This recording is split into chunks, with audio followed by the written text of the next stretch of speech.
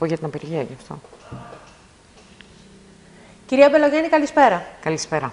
Ακτινοδιαγνωστικό ώρα 0, ξέρετε, δεν είναι ο τίτλος που φοβίζει περισσότερο τους πολίτες, όσο η έλλειψη, η υποστελέχωση και επειδή λόγω της υγειονομικής κρίσης, οικονομικής κρίσης και που συνεχίζει, αν θέλετε, η φτώχεια να βαθαίνει ε, και το βλέπουμε καθημερινά αυτό και το ακούμε, όλο και περισσότεροι πολίτες φτάνουν στην πόρτα του νοσοκομείου. Ναι. Όταν λοιπόν εσείς λέτε ότι είναι υποστελεχωμένο το ακτινοδιαγνωστικό τμήμα και, όταν, ε, ε, και από το κέντρο υγείας ε, της Άρτας, οι, οι ακτινογραφίες οι οποίες γίνονται φτάνουν στο νοσοκομείο προκειμένου να τις δει κάποιος γιατρός, τότε ανησυχούμε. Και ναι. ανησυχούμε αρκετά. Κοιτάξτε, ζούμε ένα παραλογισμό, γιατί αυτά δεν τα λέμε τώρα πρώτη φορά. Πόσες φορές έχουμε, μας έχετε καλέσει εδώ, λέμε συνεχώς ότι υπάρχει έλλειψη, υποστελέχωση στις δομές του Εθνικού Συστήματος Υγείας. Ναι. Να εξηγήσω τώρα εδώ με το ακτινοδιαγνωστικό. Πρώτον, υπάρχουν πολλές, ε, αρκετές κενές οργανικές θέσεις παραϊατρικού προσωπικού, τεχνολόγων δηλαδή, οι οποίοι ε, είναι οι βοηθοί, χειρίζονται τα μηχανήματα τα ακτινοδιαγνωστικά ναι. αυτή τη στιγμή. Δεν είναι τωρινό το φαινόμενο, είναι φαινόμενο των τελευταίων 6-7 χρόνων, μπορεί και παραπάνω. Ναι. Προσλήψη προσωπικού, ούτε καν ε, επικουρικού προσωπικού, στα τρία χρόνια, γιατί τώρα έχουμε μπει στον τρίτο, του COVID, σε αυτό το κομμάτι δεν έχουν γίνει, ναι. ούτε εγκρίνονται από το Υπουργείο. Πριν ένα μήνα ε, μας ενημέρωσες σαν ε, σωματείο του Συλλόγου, το Σύλλογο Εργαζομένων του Νοσοκομείου Διοικητής ότι από τις θέσεις που ζητούσαμε για επικουρικό προσωπικό εγκρίθηκε μόνο μία. Ωραία. Εμείς επάνω το νοσοκομείο έχει αξονικό τομογράφο, ε, ε, υπέρηχο, μέτρηση οστικής πυκνότητας, μαστογράφο και τα ακτινολογικά μηχανήματα. Το τρίτο ακτινολογικό μηχάνημα το πήραμε τώρα, πριν ναι. λίγες μέρες, από ένα έργο της περιφέρειας. Έχουμε λοιπόν τον ε, ιατροτεχνολογικό εξοπλισμό, και δεν, έχουμε, το προσωπικό για να το λειτουργήσει. Εδώ και πάρα πολύ καιρό, χρόνια, δεν γίνονται μαστογραφίες. Δεν γίνονται μαστογραφίες γιατί δεν υπάρχει γιατρός για να τις γνωματεύσει, ειδικευμένος γιατρός για να τις γνωματεύσει. Δεν κλείνονται ραντεβού.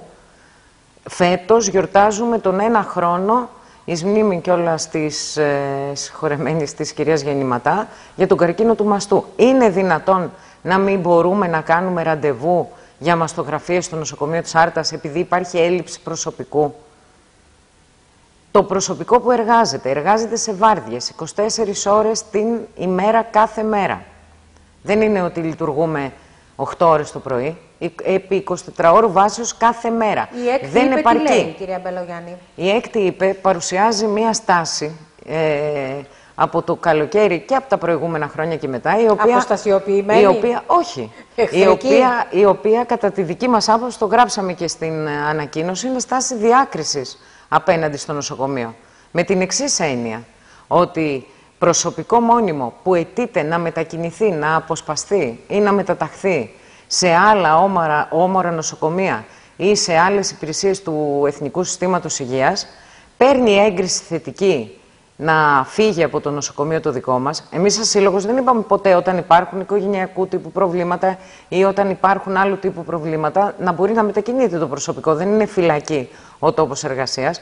Πρέπει όμως να αντικαθίσταται. Δεν μπορεί λοιπόν από τη μία να υπογράφεις θετική εισήγηση παρά τις αρνητικές εισηγήσεις της υπηρεσίας του νοσοκομείου για να γίνουν οι αποσπάσεις, να γίνουν οι μετατάξεις, να φύγουν από το νοσοκομείο και να μην υπογράφεις ποτέ για να έρθουν στο νοσοκομείο. Και κάθε φορά, το καλοκαίρι πάλι είχαμε γράψει ανακοίνωση, που παρά την αρνητική ε, εισήγηση από την πλευρά του νοσοκομείου για να φύγει ένας συνάδελφος γιατρός ακτινοδιαγνώστης, ναι. να πάει να βοηθήσει ας πούμε τον τουρισμό, τη βαριά βιομηχανία στα νησιά. Είπαμε όχι γιατί έχουμε έλλειψη ε, και σε ιατρικό προσωπικό. Η έκτη είπε, είπε ναι και μετά για να καλύψει τα κενά που δημιουργούσε αυτή η απόσπαση έδωσε εντέλεστε στο συνάδελφο γιατρό ακτινοδιαγνώστη του Κέντρου Υγείας Άρτας. Δηλαδή, το να λες ότι ναι εγώ θα μετακινήσω. Λύνεται το πρόβλημα με τις μετακινήσεις των ναι. γιατρών, το έχουμε ξαναπεί. Ναι. Δεν λύνεται. Αυτά είναι εμβαλώματα. Ναι. Δεν υπάρχει οριστική λύση. Ε, και δεν, μπορεί, δεν μπορούν όμως ταυτοχρόνως και οι συνάδελφοι από το Κέντρο Υγείας Άρτας κάθε τρεις μήνες να έχουν και από μια, ένα εντέλεσθε μετακίνησης για να καλύπτουν τα κενά. Εμείς έχουμε πει ότι θα πρέπει να γίνουν προσλήψεις ε, μόνιμου προσωπικού, έτσι ώστε να μπορούμε να ανταποκρινόμαστε στις ανάγκες του κόσμου. Ούτε ραντεβού για αξονική τομογραφία μπορούν οι πολίτες να κλείσουν ναι. στο νοσοκομείο. Ένα την ημέρα κάνουμε μόνο για ανασφάλιση στους πολίτες.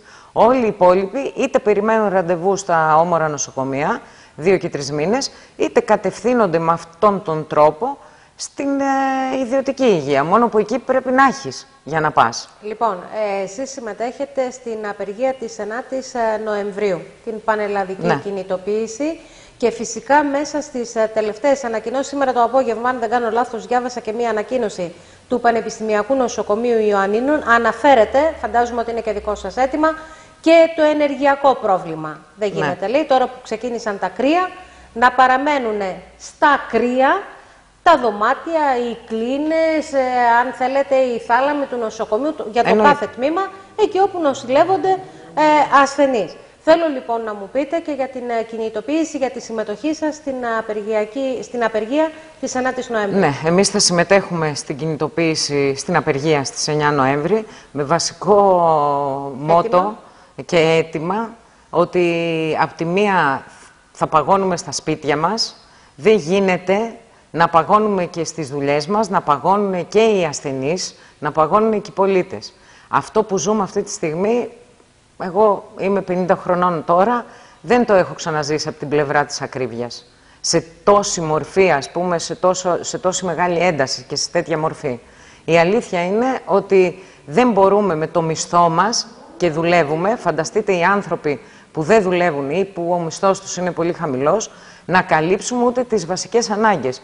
Εννοώ να πάμε στο σούπερ μάρκετ και να μπορούμε να μετακινηθούμε με το αυτοκίνητό μας. Ο χειμώνας ακόμα δεν έχει έρθει για να δούμε με τι θα ζεσθενόμαστε το χειμώνα. Έτσι όπως προβλέπεται η κατάσταση να πάει, δεν προδιαγράφεται το μέλλον και πολύ φωτεινό. Εμείς ζητάμε τώρα αυξήσεις στους μισθούς μας, έτσι ώστε να μπορέσουμε να ανταποκριθούμε στις ανάγκες. Είναι παράλογο από μια κυβέρνηση οποιασδήποτε μορφής να ζητάει από τους πολίτες της χώρας να πληρώσουν παραπάνω πράγματα από αυτά, παραπάνω χρήματα από αυτά που τους δίνει η εργασία τους. Αυτό δεν έχει συμβεί, δεν συμβαίνει πουθενά. Δεν γίνεται να πηγαίνεις, να θες να πας στη δουλειά και να μην έχεις να βάλεις βενζίνη στο αυτοκίνητο. Ε, δεν γίνεται να μην μπορείς να ανοίξεις τη θέρμανση στο σπίτι.